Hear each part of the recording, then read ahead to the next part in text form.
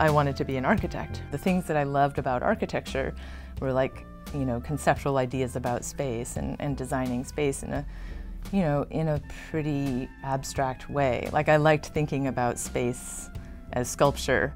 Mimi Lien has been our scenic designer since the beginning. Her idea was to create these bars, these raised bars, and create a space for raised action. She sort of drew a little squiggly on a, napkin and it was like, oh, of course it should be round.